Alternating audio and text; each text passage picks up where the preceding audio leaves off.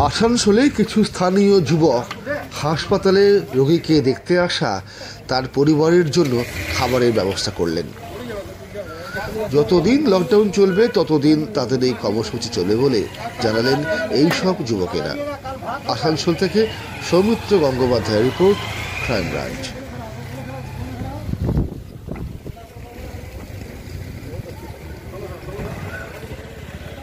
থেকে খাবার দিচ্ছেন? খাবার আমরা বিলি করছি পেশেন্ট পার্টিতে কি দেখলেন এতদিন কি দেখছিলেন?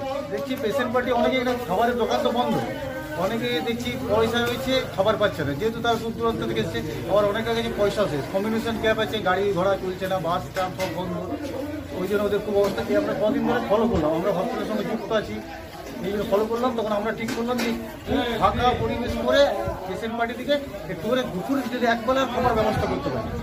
একবেলাও যাতে মানুষগুলো খেয়ে থাকতে পারে সেই ব্যবস্থা করছি। মানে কতদিন দেবেন বা কতদিন দিচ্ছেন? মানে কতদিন দেবেন? মানে মোটামুটি এখন চাইছি যতদিন এবার আরও যদি সবাই আমাদের দিকে এগিয়ে সাহায্য হাত বাড়ি দেয় তাহলে এটা আমরা যতদিন লক আউট চলবে ততদিন আমরা চালিয়ে কতজনকে দিচ্ছেন আজকে মোটামুটি? পেশেন্ট পার্টি মোটামুটি এটা তো পেশেন্ট পার্টি আছে তো বলা যাবে না?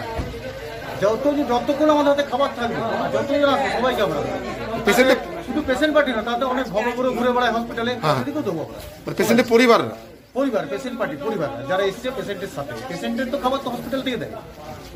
পেশেন্ট পেটে কি বাইরে পেশেন্ট পার্টি কোথাও নগলা থেকে আছে কিছু আমাদের ওই পারে বাঁকুড়া আছে বাঁকুড়ারও আছে। আদার্স আমাদের ডিস্ট্রিক্ট হসপিটাল লোড খুব বেশি পেশেন্টের আপনার পরিচয় নাম আমি এখানে থাকি বাপ্পাদিত্য সমন্ত নামে।